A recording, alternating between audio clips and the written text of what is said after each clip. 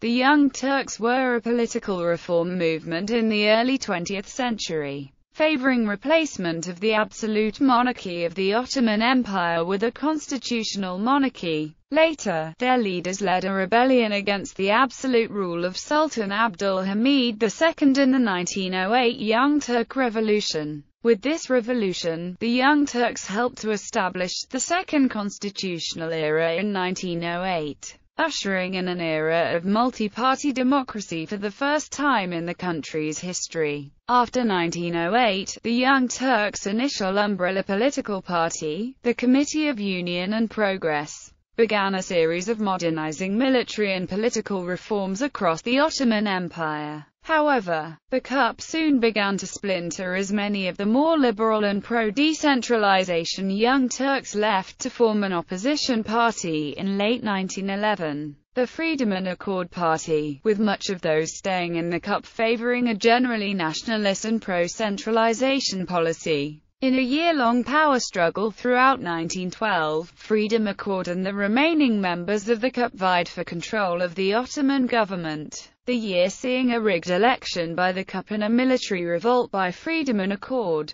The struggle between the two groups of Young Turks ended in January 1913, when the top leadership of the CUP seized personal power from Freedom and Accord in the raid on the Sublime Porte. The subsequent CUP-led government was headed by Interior Minister and Grand Vizier Talat Pasha. Working with him were War Minister Enver Pasha and Naval Minister Jemal Pasha. These three pashas, as they came to be known, exercised absolute control over the Ottoman Empire from 1913 to 1918 bringing the country closer to Germany, signing the Ottoman-German alliance to enter the empire into World War I on the side of the Central Powers, and carrying out the Armenian genocide. History. Origins Like other revolutionary societies, the Young Turks had their origins in secret societies of progressive medical university students and military cadets, namely the Young Ottomans driven underground along with all political dissent after the Constitution of 1876 was abolished and the first constitutional era brought to a close by Abdul Hamid II in 1878 after only two years.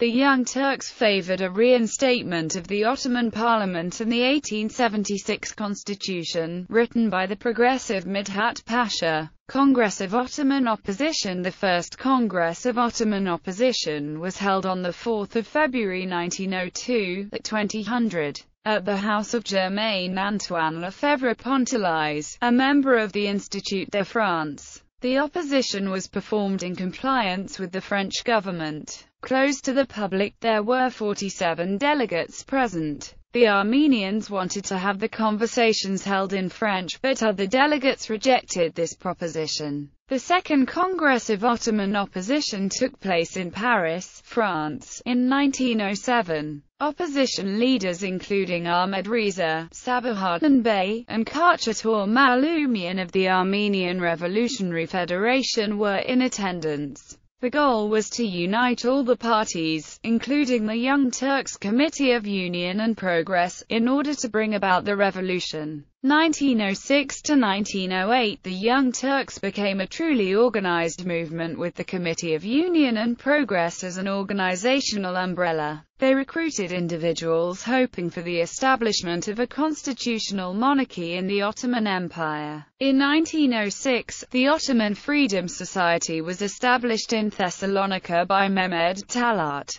The OFS actively recruited members from the 3rd Army Base, among them Major Ismail Enver. In September 1907, OFS announced they would be working with other organizations under the umbrella of the CUP. In reality, the leadership of the OFS would exert significant control over the CUP. Young Turk Revolution in 1908, the Macedonian question was facing the Ottoman Empire. Tsar Nicholas II and Franz Joseph, who were both interested in the Balkans, started implementing policies beginning in 1897, which brought on the last stages of the Balkanization process. By 1903, there were discussions on establishing administrative control by Russian and Austrian advisory boards in the Macedonian provinces. The ruling House of Osman was forced to accept this idea, although for quite a while they were able to subvert its implementation. However, eventually, signs were showing that this policy game was coming to an end. On May 13, 1908, the leadership of the Committee of Union and Progress with the newly gained power of its organization, was able to communicate to Sultan Abdul Hamid II the unveiled threat that the Ottoman dynasty would be in danger if he were not to bring back the Ottoman constitution that he had previously suspended since 1878. On June 12, 1908, the Third Army, which was in Macedonia, began its march towards the palace in Constantinople. Although initially resistant to the idea of giving up absolute power, Abdul Hamid was forced on July 24, 1908, to restore the constitution,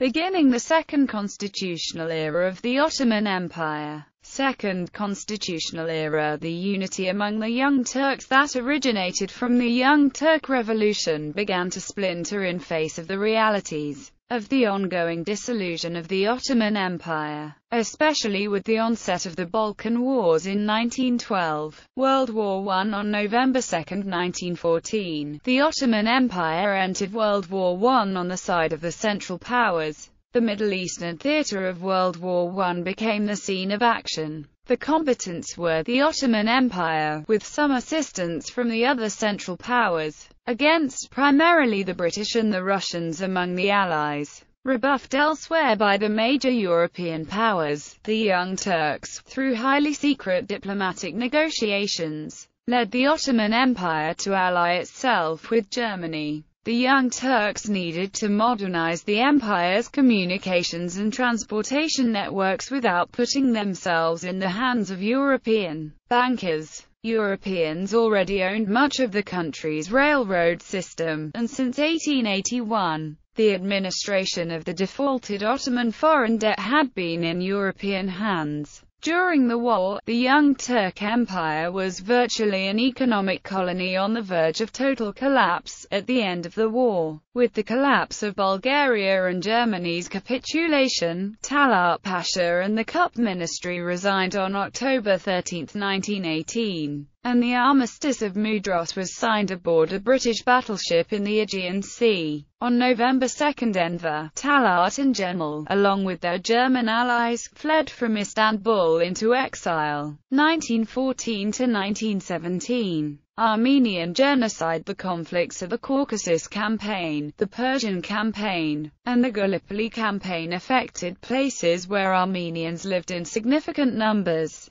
Before the declaration of war at the Armenian Congress at Erzurum, the Ottoman government asked Ottoman Armenians to facilitate the conquest of Transcaucasia by inciting a rebellion among the Russian Armenians against the Tsarist army in the event of an Caucasian front.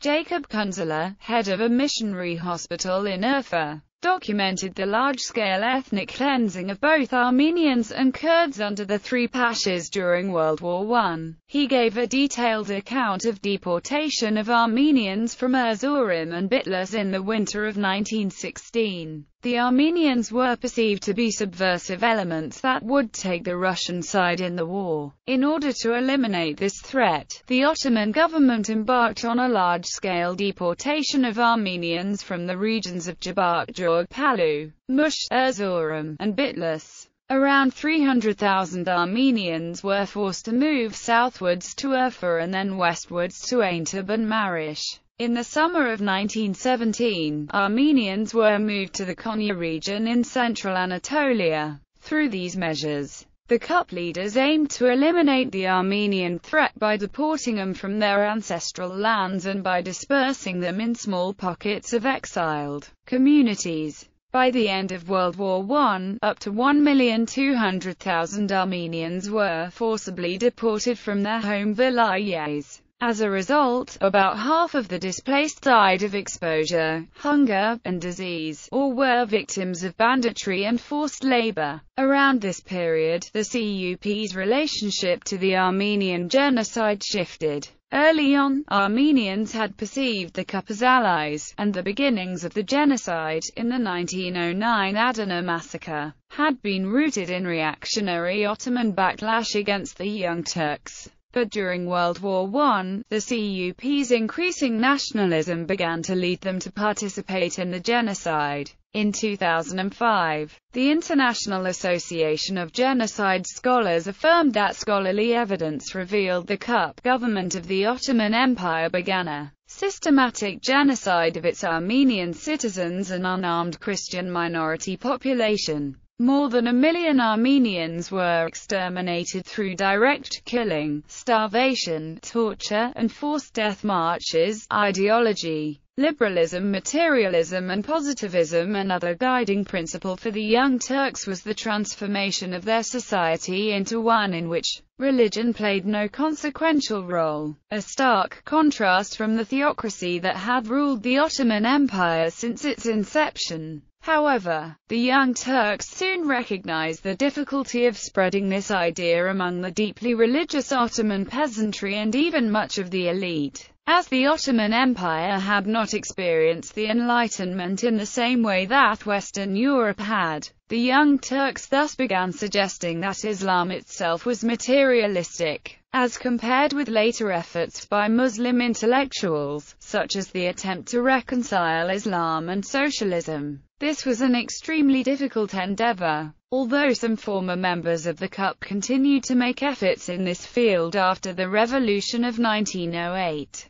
they were severely denounced by the ulama, who accused him of trying to change Islam into another form and create a new religion while calling it Islam. Positivism, with its claim of being a religion of science, deeply impressed the Young Turks who believed it could be more easily reconciled with Islam than could popular materialistic theories. The name of the society, Committee of Union and Progress, is believed to be inspired by leading positivist Auguste Comte's motto Order and Progress. Positivism also served as a base for the desired strong government. Centralized government After the Committee of Union and Progress grabbed power in the 1913 coup, it embarked on a series of reforms in order to increase centralization in the empire, an effort that had been ongoing since the last century's Tanzimat reforms under Sultan Mahmud II. Many of the original Young Turks rejected this idea, especially those that had formed the Freedom and Accord Party against the CUP. Other opposition parties against the CUP like Prince Sabahaddin's Private Enterprise and Decentralization Association and the Arab Ottoman Party for administrative decentralization, both of which made opposition to the CUP's centralization their main agenda. Nationalism In regards to nationalism, the Young Turks underwent a gradual transformation beginning with the Tanzimat with ethnically non-Turkish members participating at the outset, the Young Turks embraced the official state ideology, Ottomanism. However, Ottoman patriotism failed to strike root during the first constitutional era and the following years. Many ethnically non-Turkish Ottoman intellectuals rejected the idea because of its exclusive use of Turkish symbols.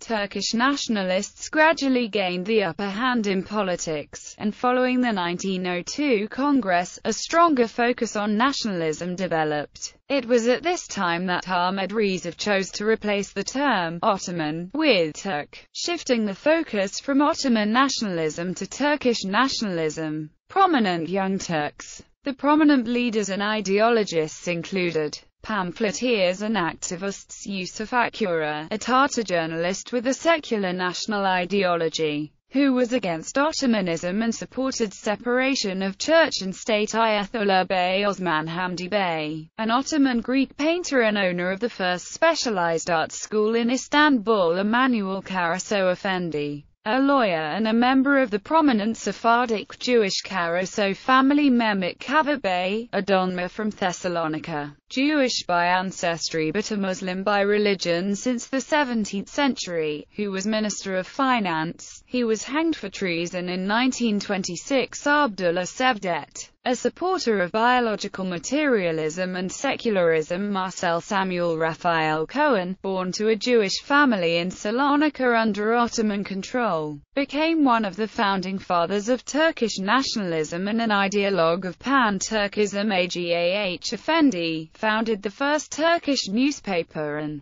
as postmaster, brought the postage stamp to the Ottoman Empire Ziya Gökalp, a Turkish nationalist from Diyarbakir, publicist and pioneer sociologist. Influenced by modern Western European culture Talat Pasha, whose role before the revolution is not clear Ahmed Reza, worked to improve the condition of the Ottoman peasantry. He served as agricultural minister, and later as education minister. Military officers Ahmed Niazi Bey Enver Pasha Subha Bey Abazar Resat Bey. Aftermath and legacy the founder of modern Turkey, Mustafa Kemal Ataturk, is quoted on the front page of the 1st of August 1926 The Los Angeles Examiner as denouncing the Young Turks and especially the CUP. These leftovers from the former Young Turk Party, who should have been made to account for the millions of our Christian subjects who were ruthlessly driven en masse from their homes and massacred